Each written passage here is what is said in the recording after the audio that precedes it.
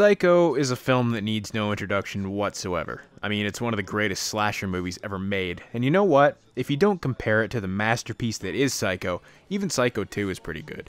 3 and 4 can go to hell, but 1 and 2, solid stuff.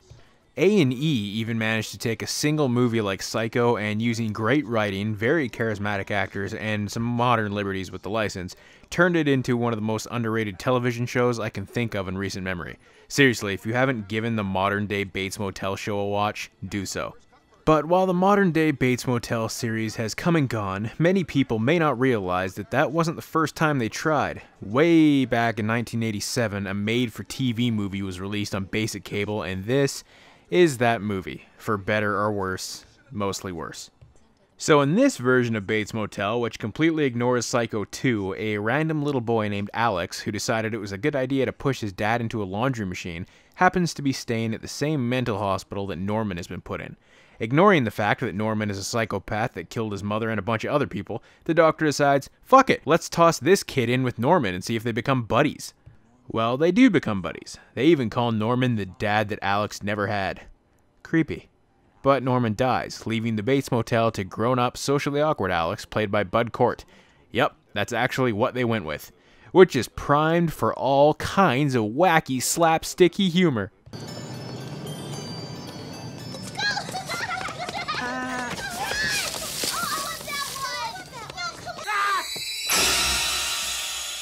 Hold it right there! Oh my god, it's Big Bird! Yeah, I don't know what the hell kind of tone they were going for with this thing, but when I think of Psycho, the last thing that comes to mind is Lori Petty dressed up in a giant chicken suit. What the hell? Hitchcock would be rolling in his grave if he saw this shit.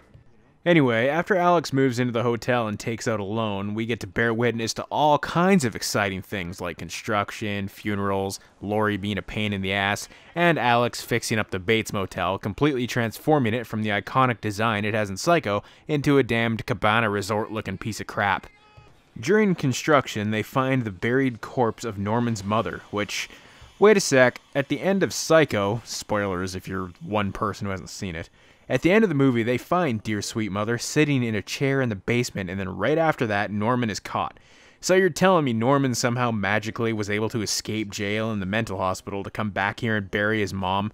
Come on, if you're gonna leech off the damn psycho name, at least get your continuity right, you piece of ass. Oh, and this isn't a slasher movie like you'd expect from something birthed out of the psycho family. No, this is a spoopy ghost story. Alex keeps seeing figures, windows slam shut on their own, stuff like that. At one point, a random woman comes to the hotel to commit suicide, but shortly after, a huge group of youngsters that look like they stepped right out of the 50s, including a young Jason Bateman, yeah, no joke, show up and try to befriend her. Guess why? Because all these teens killed themselves in the past and are trying to save her life. That's. Uh, that's so unspeakably stupid that I haven't even got words. They didn't even end their lives at the motel, for Christ's sake. They did it all over the country. What, so the ghosts all just happened to convene on the motel at that one convenient moment?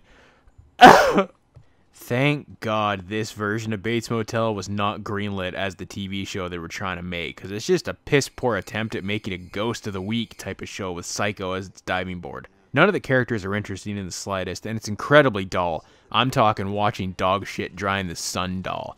This is a disgrace to the psycho name and legacy left behind by Hitchcock, and is even more pointless in its existence than Gus Van Sant's shot for shot remake where Vince Vaughn, of all people, was Norman Bates.